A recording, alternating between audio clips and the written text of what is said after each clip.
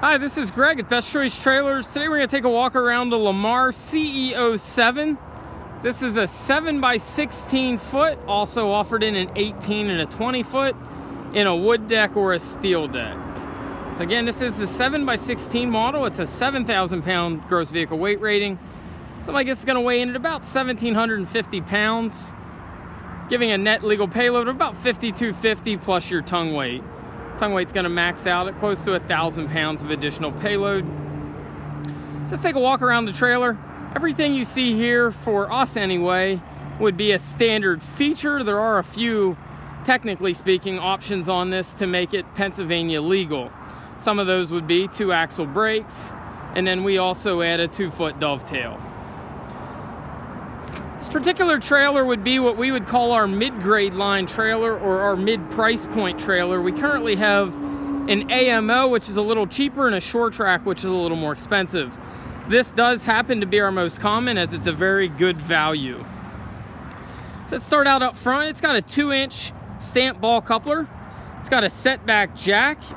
We like the setback jack for a few reasons, one of which would be, it be out of your way for your truck pickup gate, save you from potentially dinging the gate up. Notice they put the sand foot down on the bottom. They also use a sealed wiring harness. Not only is it sealed, but the blue would also signify that it's cold weather rated, meaning it's an Arctic cord, stays pliable and flexible down to about negative 60 degrees. The front headache rack, instead of being angle irons made out of uh, pipe, notice they do the three quarter inch bullet LED lights and then they also have the pinstriping. Lamar does a three-year structural warranty. They do a five-inch channel mainframe. So at this price point in the industry, a lot of times you're gonna see maybe a four-inch channel or occasionally a four-inch angle. This is a five-inch channel. You also notice the tongue on these is a full wrap tongue, meaning it wraps the whole way back to the spring hanger, which takes me back to the fender. You'll notice that bolt there makes this a removable fender. So if you want to, you can use that for a few things. One, if you damage the fender, it's easy to replace. Also would allow you to load a lower profile car. It's got brakes on both axles. They've got radial tires, 205-75 R15 load range C. It's got the Dexter forward adjusting brakes, and it's also got the E-Z Lube hubs. E-Z Lube hubs make it simple for an average homeowner to be able to service your own bearings. Again, we option in the two foot dovetail. They used to be a wood dovetail, now they make them out of steel. Steel's nice if you get something that uh, is dragging on it, it'll slide up the dovetail a little bit better for you. They also do a five foot rear pull-out ramp, not a side pull-out ramp. Generally, your cheaper trailers will often have the side pull-outs. So this is not only a five foot ramp, but it's also a rear pull-out.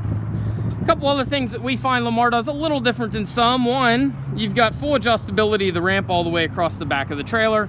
You're also not required to have a stop turn tail, or I'm sorry, not required to have a marker light at the outside, just the stop turn tail.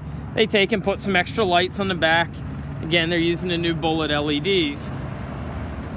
Another thing we find a little bit different on Lamar's would be the gusset on the beaver tail looked around the industry and a lot of trailers don't put a gusset even on a 10 and oftentimes a 14K trailer. They take and do it even on a 7,000 pound. Trailer like this is gonna net you about a 12 to 13 degree load angle. It's enough that you can load most cars. if you do have a low profile car, we offer steel decks with an extended beaver tail for a lower load angle. So folks, that's pretty much it.